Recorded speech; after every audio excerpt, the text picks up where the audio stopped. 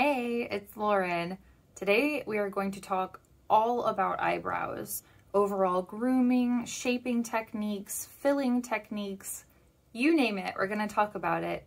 Um, I personally am someone that has followed eyebrow trends in the past, and I don't really do that anymore when it comes to the physical removal of hair. Um, I will play with products to achieve a trendy effect, but I've really come to embrace my own eyebrow shape a bit more over time um, after letting them fill in after years of plucking them very thin.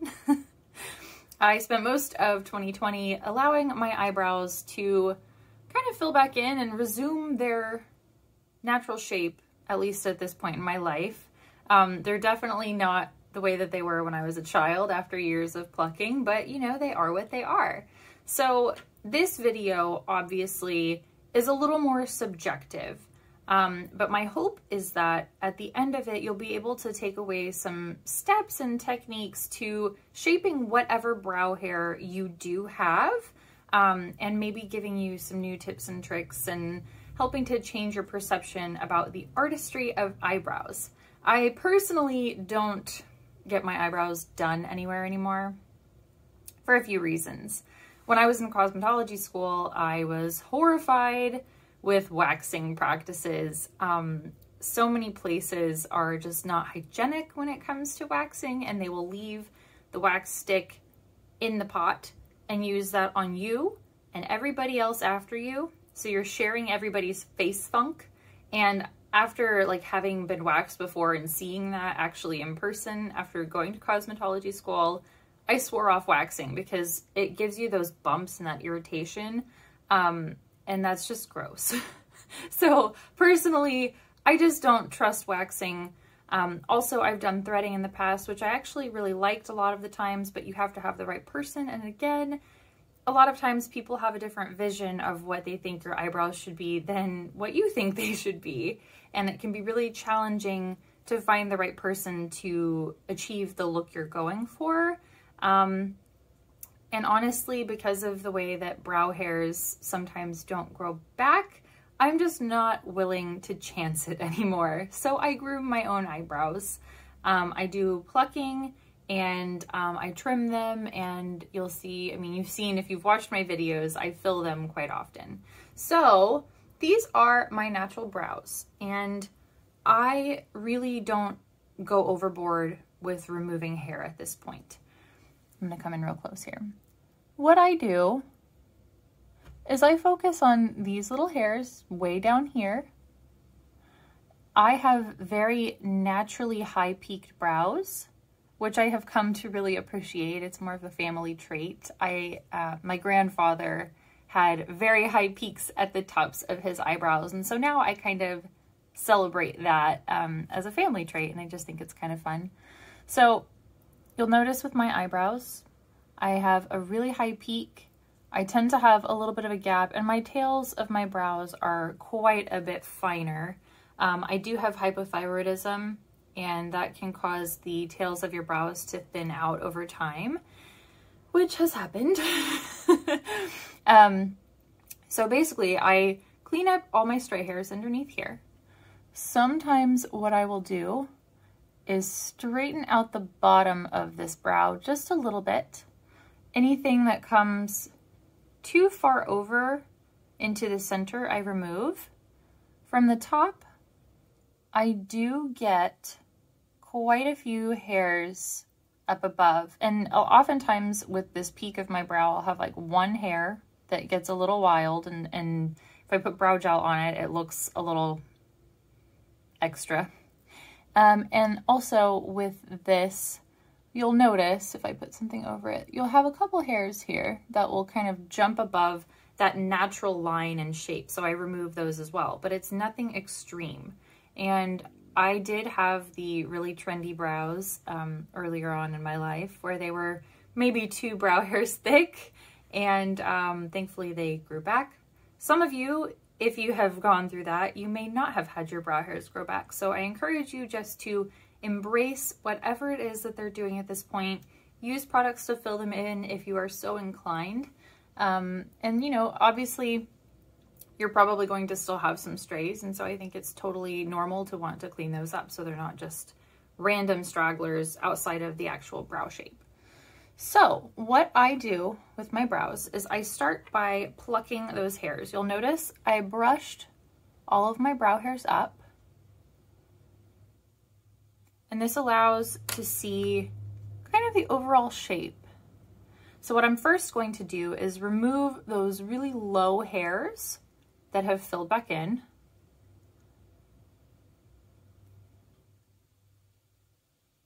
And you'll notice too, when I do this, I wipe those hairs off because if you get too many hairs in your tweezers, they're not going to be able to grip the hair to pull it out.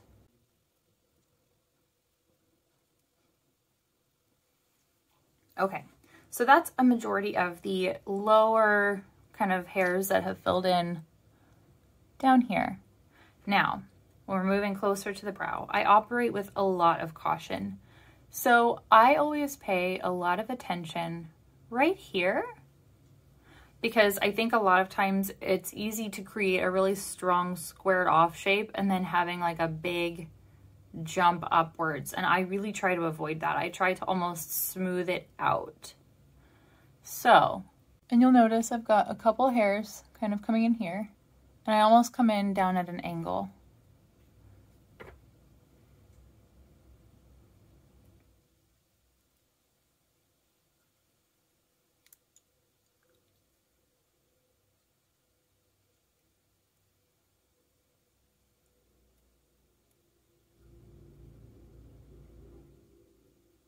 My goal being to not make a giant jump after the front of my brow.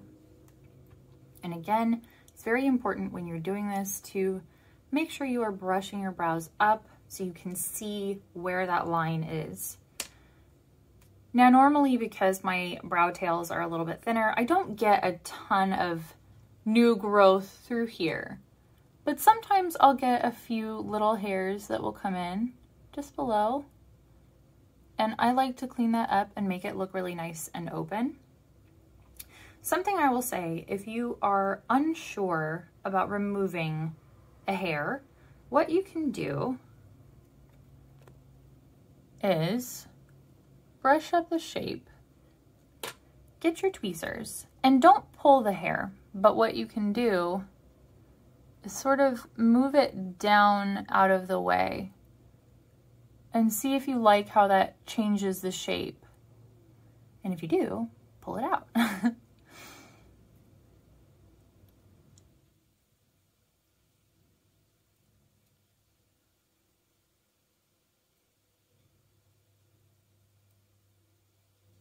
Something I also think is really important while you're doing your brows. I do not use magnifying mirrors when I am doing my brows and here is why.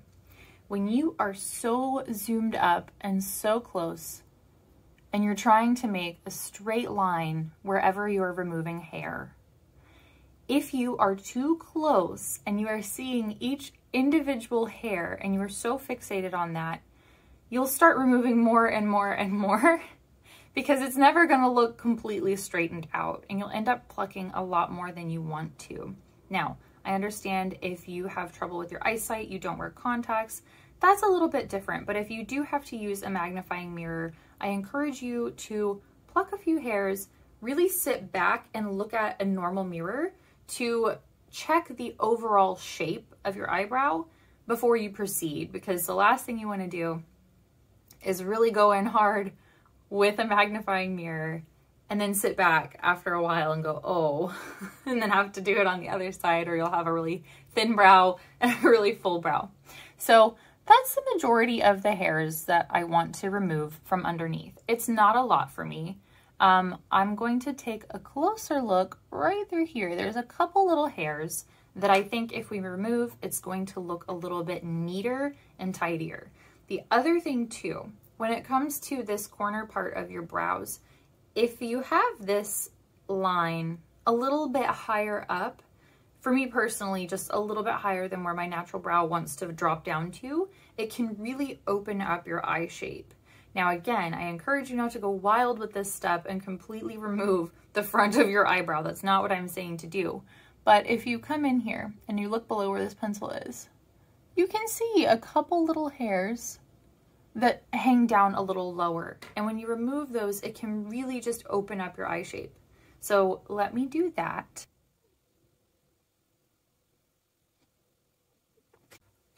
Very, very subtle. Doesn't have to be a lot of hairs, but it can make a big difference. Now, like I mentioned, I do get quite a few hairs up above my eyebrows. And, you know, some people will say don't pluck above your eyebrows. Some people are all for it. I don't really change the top shape of my eyebrows very much, but if I do have some strays, I do like to remove those. And right now, you can even see it from a bit of a distance. I have like one hair up here on top of that peak, which I like the peaks, but there is that one hair that's a little bit stray and just doesn't really follow the natural shape of my brow. So this is what I do. When I do the tops of my brows, I brush all of this down so you can see what that shape is doing. And I just really, I stick very close to where my brow is, but I'm gonna clean that up a bit. And I don't really take a whole lot from here just because I don't have a lot through there. You can see. Sometimes too, the hairs that grow up above my eyebrow, they're not as thick as what falls in my natural arch, um, but they still add kind of a dark cast around my eyebrows. So when I remove them, it gives a much sharper looking shape without really taking much away from my natural brow. Now this is where the kind of trickier part comes in. You can see there's some natural gaps there. And the hardest part is trying to see, are there any hairs that come out above that natural line I have made the mistake before of taking too many hairs from the tops of my eyebrows and then they just looked very strange and unnatural and I had to fill them a lot more and they sat lower on my face. They didn't have a very lifted appearance. So I think that's why a lot of people will tell you don't pluck from the top of your eyebrows. And I don't agree with that. I think that you can, but there's a way of doing it so you don't make it harder on yourself later on. Now I didn't do a ton of, you know, removal to that natural brow shape, but looking, when I sit back a little bit and you can look, this brow just has a sharper appearance overall compared to this eyebrow. And it's a very, very easy thing. So I'm gonna go ahead and pluck all of the excess hairs on this side and then we will move into trimming the eyebrows as well.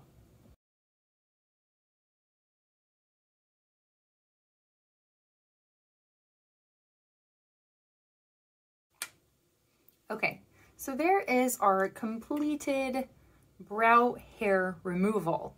It's very, very subtle. I don't go wild with it. I really try to stick with the kind of natural shape that I have of my eyebrow at this point.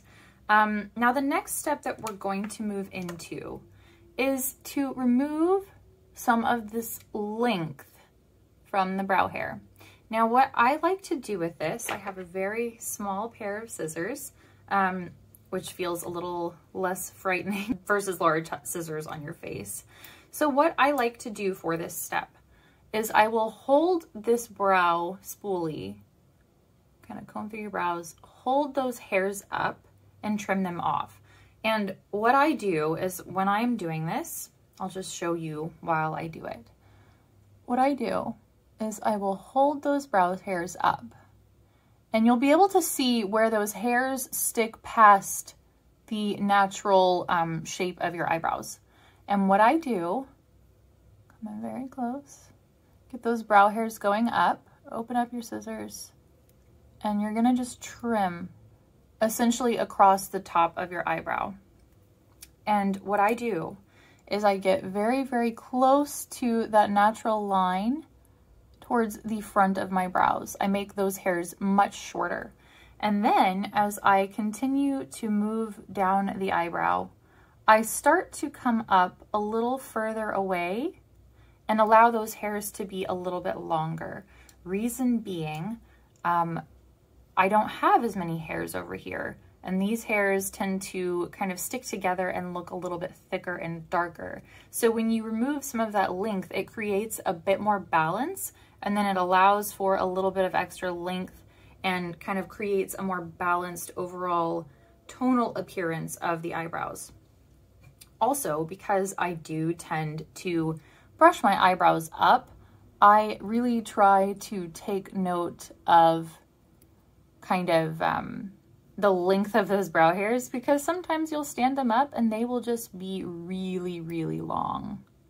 I do tend to lay that down, but now really when I get to the ends of my eyebrows, I just kind of nick those hairs. I really don't take a lot off of them because it helps to maintain the overall thickness appearance of my eyebrows.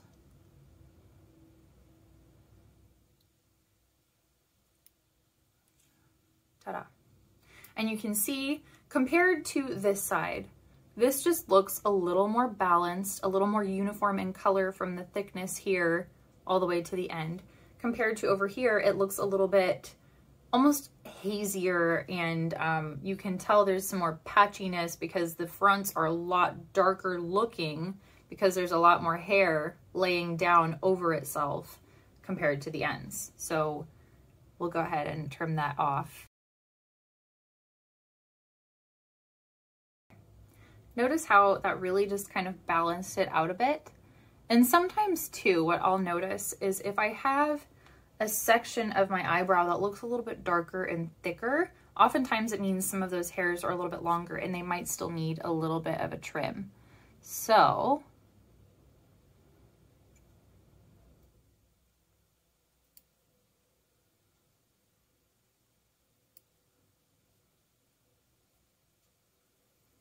that looks a little more balanced. Now the other thing I do, because my brows naturally tend to fall down, is I will brush these down. And really what I'm looking for is any of these hairs that are falling past the natural brow line because if they were to fall down, I don't want them to fall past where my arch is. So you can see there are just a few. It's not as dramatic as when you really raise it up. So I'm just going to trim those off. You can see some through there too.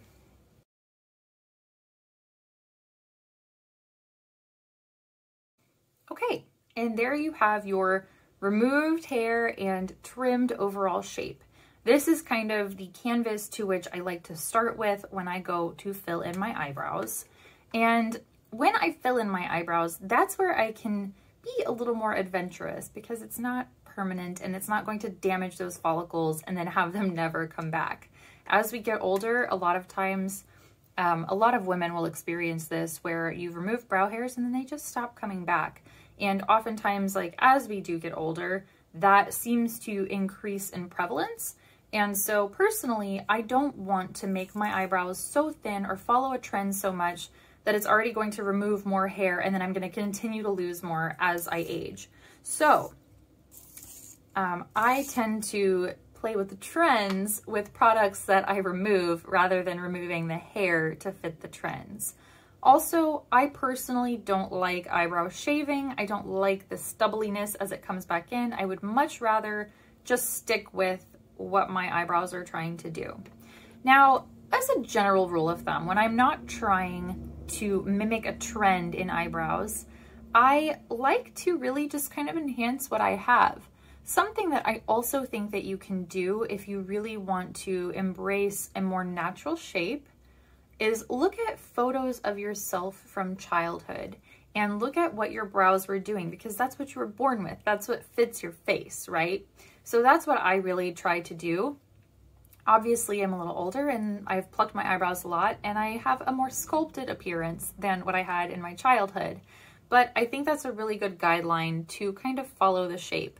So when I was a kid, I had more of a peak up at the top. My underneath part was a little bit straighter. Um, obviously, I had more hairs underneath that were kind of filling in that arched appearance. Um, I'm going to work with what I have now, but that's kind of a good thing to remember. Um, now, if you are someone, again, if you have really, really plucked your eyebrows, but you want a fuller brow appearance, before I show you on my own brows, I'm going to show you something else. So if you go in and you don't have many brow hairs and you really want a fuller looking brow, you can create a shape either with a pencil or I would say even a powder.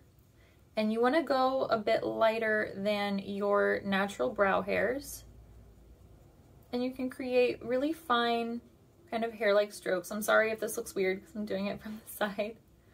You can create really fine kind of hair-like strokes. And then once that is on your face, you can sort of soften that out with a spoolie. And now for a more realistic appearance, what you can do is take a brow pen that actually matches your hair that's not lighter. You want the, the under pigment that you're going to put down to be a bit lighter. And then you can go in with a brow pen that matches your hair. And you can create an even stronger hair-like appearance and go over where you put that powder or pencil, whichever you choose.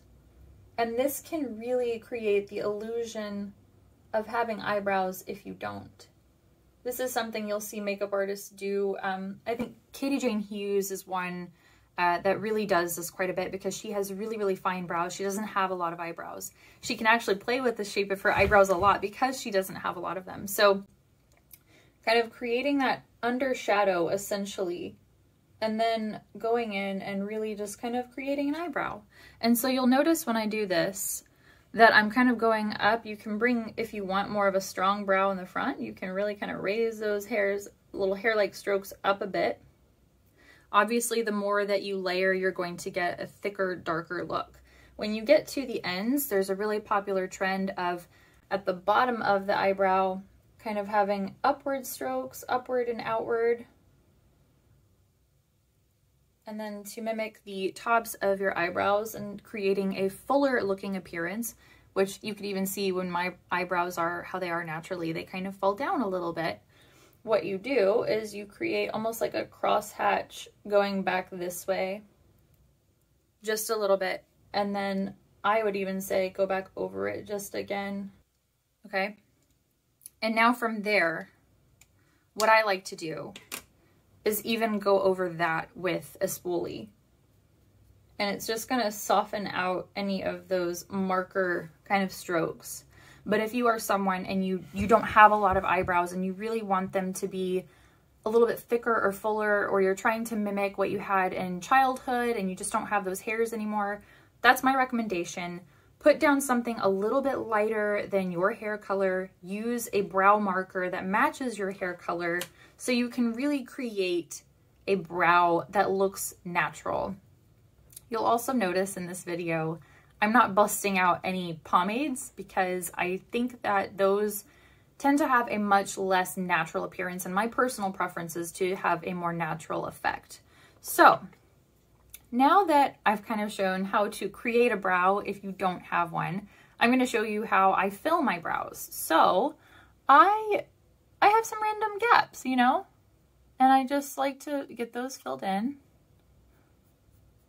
This is um, a really nice pencil because it has a very powdery kind of finish. So what I like to do is I kind of get that front of my brow how I want it and I pretty, I'm pretty gentle with this. I'm not really um, going in too hard. So I like to kind of get that upper brow shape. I really kind of follow my natural brow shape and find that peak. Embrace the peak. and um, then I'll come in a little lower and fill that in. And I, um, I kind of almost smooth out that a little bit because my natural arch can try to jump up with that top peak. Because I like how my brows were as a kid, I do kind of drop that a bit underneath.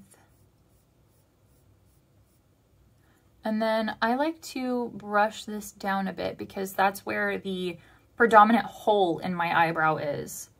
So I like to be able to see really, really well what's happening there. And because my eyebrows tend to stop a little further in, I drag them out just a little bit more. Not a lot, but it does kind of give the illusion that they are a little bit longer and thicker and fuller than they actually are. And again, because I don't want there to be um, a big arced jump between there, I always try to drag that almost kind of straight between the two. And then just kind of spoolie through it all just to soften out any hard edges. This also allows you to see if there are any gaps. Just like so. What a difference, right? Isn't that amazing? I love a good brow pencil. Okay, let's do the other side and then we're gonna finish off with one last thing. The other tip too that I have for you, when you are filling your eyebrows, try not to raise them. because when you drop them back down and you're not raising your eyebrows, they're going to be in a different position on your face. This is something I've kind of learned over the years and like I would like fill my eyebrows and I'd be like, why doesn't it look the same? Try to relax your eyebrows, relax your face, and really see where they are fitting on your face. This tip also goes for when you are plucking your eyebrows. I think that's also really important because you don't want to pluck them up here and then have them drop back down. That's kind of why um, tattooing for eyebrows, they use vegetable pigments that only last for a couple of years because as we age, our face tends to shift. The skin on our bones shifts around a little bit and you don't want to have something that was tattooed way up here now sitting way down low. That's why it's designed to only last a few years. Can touch it back up and put them where they need to be.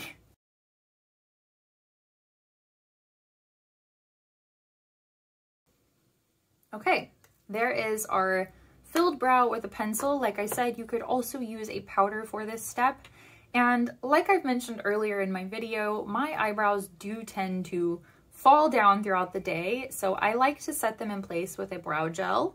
I tend to use a tinted brow gel just because I like the added kind of thickness that that color deposits, especially on the outer edges of my brows.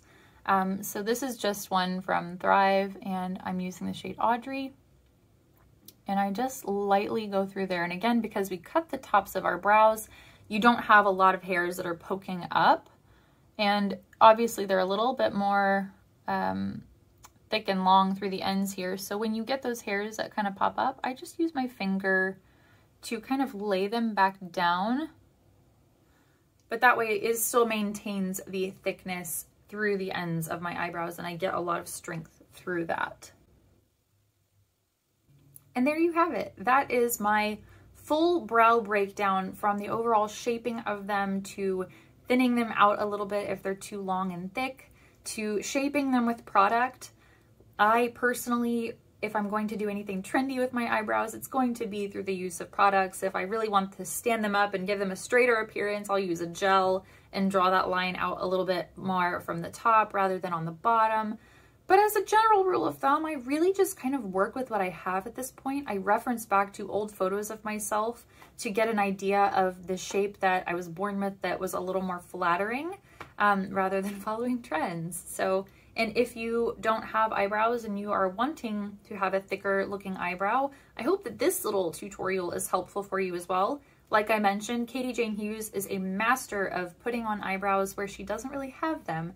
And so I learned this from her and I think that it's a fantastic piece of advice to share with you all. So I hope that you've enjoyed this. If you did, please make sure to like and subscribe. It helps other people to find my channel and I can continue making more content for you. Thanks so much for watching. Bye.